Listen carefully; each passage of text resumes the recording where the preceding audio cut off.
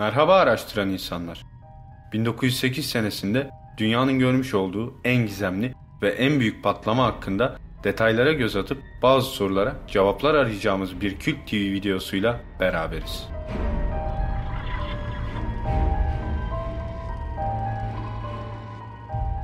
...30 Haziran 1908 günü muazzam büyüklükteki bir ateş topu Sibirya semalarında belirerek yere çarptı ve 1000 Hiroşima atom bombasına eşdeğer bir patlama gerçekleşti.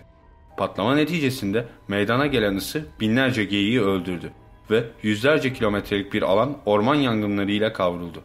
İngiliz gazetelerine göre patlamadan sonraki birkaç gün içinde Batı Avrupa'da bulunan insanlar bile gökyüzünü kaplayan turuncu parıltı ile hiç ışık yakmadan geceleri gazetelerini okuyabilmekteydiler. Patlama büyük bir yanardağ infilakını hatırlattıysa da ortada böyle bir yanardağ yoktu. Batı'nın elinde olan tek şey Tunguska yöresinde orta şiddetli bir depremin gerçekleşmiş olduğuna dair sismograf kayıtlarıydı. Bilim adamları olayı merak ediyor ancak hiçbiri dünyanın öte ucunda bulunan ve henüz ayak basılmamış bataklık bölgeye gitmeye cesaret edemiyorlardı. Patlamadan ancak 19 yıl sonra bölgeye gidebildiler ve dizi dizi yere yatmış ağaçları gördüklerinde patlamanın şiddeti karşısında dehşete kapıldılar. Önce bunun bir meteor taşı olduğunu düşünerek göktaşı parçaları aramaya koyuldular. Ancak sonuç olumsuzdu. Çevre köylülerle konuştuklarında köylüler onlara kayan bir yıldızdan bahsedeceklerdi. Yıldız kaymasının ardından büyük patlama gerçekleşmiş ve her şey sağa sola savrulmuş, ortalık adeta mahşer yerine dönmüştü. Bilim adamları yanmış ve yatmış on binlerce ağaçtan başka bir görüntü elde edemediler. Tunguska bölgesine yıllardır yapılan araştırma gezilerinde buradaki ağaçlar arasında dünya dışı özellikler taşıyan bazı partiküllerin yuvalandığını gördüler. Bilgisayar aracılığıyla yapılan tahlillerde bu parçacıkların asteroid orijinli meteorlara ait olduğu anlaşıldı. Ayrıca yine dünyada eşi bulunmayan 4 ayrı türden maden partiküllerine rastladılar. Ancak onları ilgilendiren olaya bir meteorun sebep olmasından çok böylesi bir zarara sebebiyet veren meteorun yapısı ve madenin nevisiydi. Acaba partiküller dışında büyük bir kütle madende patlamadan kurtulmuş olabilir miydi? Maden partiküllerinden bir tanesine mikroskopla bakıldığında parçalanıp ayrılsalar bile yanmadıkları sürece kendi kendilerine tekrar birleştikleri görüldü. Böyle bir şeyin olması binlerce yıldır deneyimlerle sabitlediğimiz fizik kurallarına aykırıydı. Belki de uzaylıları taşıdıklarına inanılan uçan daireler bu maddeden imal ediliyordu. Tunguska, bilim adamlarının sadece şahsi zevklerini tatmin etmek ve meraklarını gidermek için ceplerinden para harcayarak araştırdıkları bin yılın en esrarengiz olaylarından biri ve belki de en önemlisi. Bu bilinmeyen açığa kavuşturulduğunda belki de uzayla ilgili tüm bildiklerimiz değişecek ve uzaya açılacak olan insanoğlunu bekleyen bir tehlikenin varlığını fark edeceğiz. Tunguska'ya ilk olarak 1927 senesinde yıllarca Rusya'nın birçok bölgesinde meteor toplamış amatör bir bilim adamı olan Leonid Kulik gitmiştir. Onun bu yolculuğu sadece bölgenin zorlukları düşünülürse bile başlı başına bir macera ve cesaret gösterisidir. İlk olarak devrilmiş ağaç yığınlarını gören Kulik, büyük bir orman yangınının yaşandığını düşünmüştür. 14 yıl içinde 4 sefer yapan Kulik buranın resimlerini çekti. Araziyi tarayarak meteordan parçalar bulmaya çalıştı. Ancak hiçbir sonuç elde edemedi. Tanıklarla konuştu. Hiç kimsenin anlattığı diğerine benzemiyordu. Ancak o bu patlamaya bir meteorun sebep olduğu konusunda sabit bir fikre sahipti.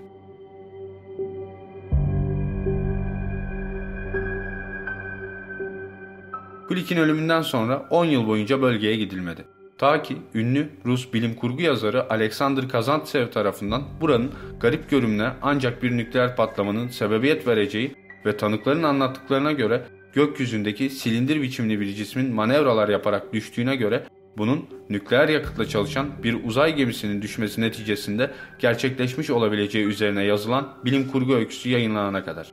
Peşinden Hiroşima ve Nagasaki'ye atılan atom bombalarının benzer etkiler yaratması tüm bilim çevrelerinin buraya ilgi duymasına neden oldu.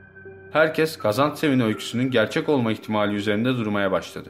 Artan ilgi ve yeni bilim seferleriyle Tunguska'nın sırrının birkaç sene içinde çözülebileceği sanıldıysa da olay hala sırrını korumaktadır.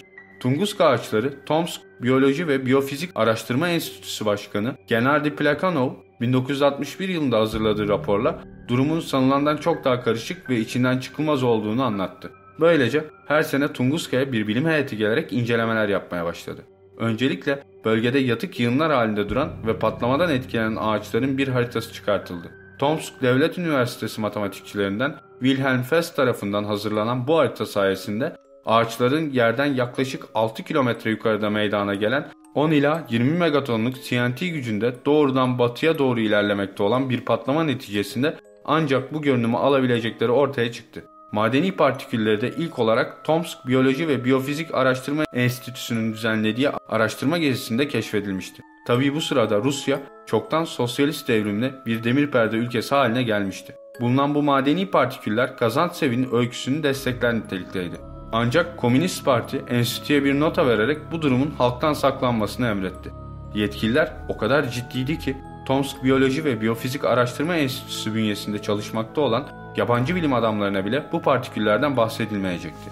Tunguska'ya yakın Tomsk ve Krasnoyarsk bölgelerinin askeri teknoloji alanında araştırma bölgeleri olması sebebiyle 30 yıl boyunca sadece Rus araştırmacılara açık olan bölge, Soğuk Savaş'ın sona ermesiyle artık batılı meslektaşlarına da serbest olacaktır. Bunlar içinde İtalyan fizikçi Menotti Galli, ağaçlardan ve özellikle de onların yıllık gelişimlerini gösteren halkalarından Tunguska'nın sırrını çözebileceğine inanmaktaydı.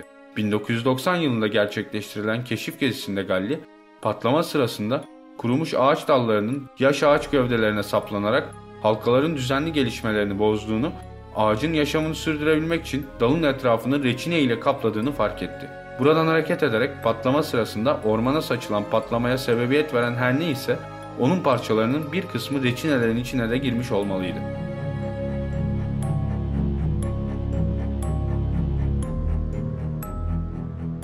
Ele geçirilen reçineler laboratuvarlarda incelendiyse de bir sonuca varılamadı. Bir yıl sonra daha çok reçine temini için yeniden bölgeye gidildi. Yoğun çalışmalar neticesinde Galli ve İtalyan Giuseppe Longo merkezde ve patlamadan kurtulabilen 6 adet ladin bulabildiler. Gövdelerinden yeterince numune kesilerek alındı. Karşılaştırma yapabilmek için devrilmiş bir karaçamın kökünden de örnekler çıkarıldı. Reçineler içinden çıkarılan parçacıklar incelendi.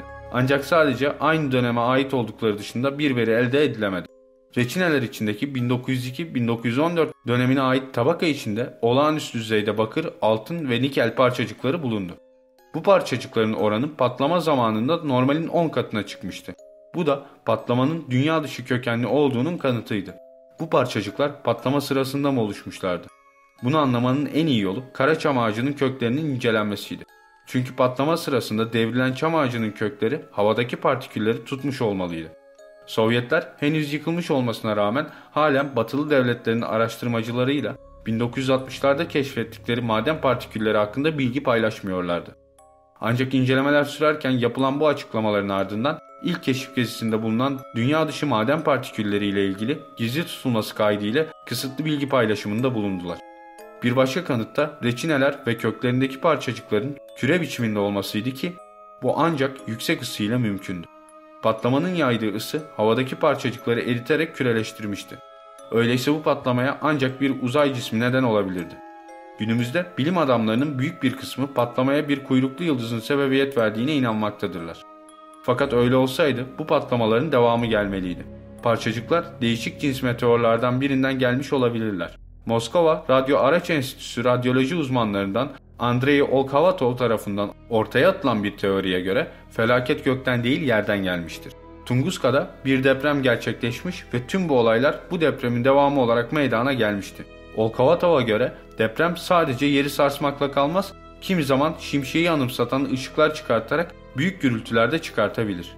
Depremden kaynaklanan sismik enerji elektrik dalgaları şeklinde yayılarak ağaçları yakmış ve orman yangınlarını başlatmış olmalıdır.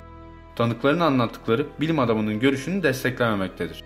Son olarak 2015 senesinde Leonid Kulik'in torunu yerel bir televizyon kanalına verdiği röportajda dedesinin araştırma gezisinde bulduğu bazı şeyleri yetkililerle paylaşmadığını, 50 santim boyunda çok farklı bir maden parçası bulduğunu ve bu parçanın dedesinin ölümünün ardından babası tarafından 500 bin dolar karşılığında Amerikalılara satıldığını anlatmıştır. Tunguska'da ne olduğu halen bir sırdır. Bilimin gelişmesiyle her geçen gün yeni bir teori ortaya atılmakta, eskisi eleştirilmektedir. Ancak bilinen tek şey her ne olduysa bu kendine özgü bir şeydi ve benzerleri gerçekleşmediği sürece de Tunguska'daki deliller yavaş yavaş ortadan kalkmakta, yeni deliller elde etme olasılığı azalmaktadır.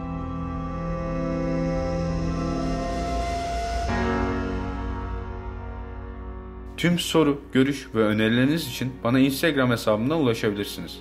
Araştırmalarımızın gelişerek devam edebilmesi için videoyu Facebook, Twitter gibi sosyal ağlarda paylaşmayı, yeni videolarımızdan haberdar olup araştıran insanlar topluluğuna katılmak için Kült TV'ye abone olmayı unutmayın.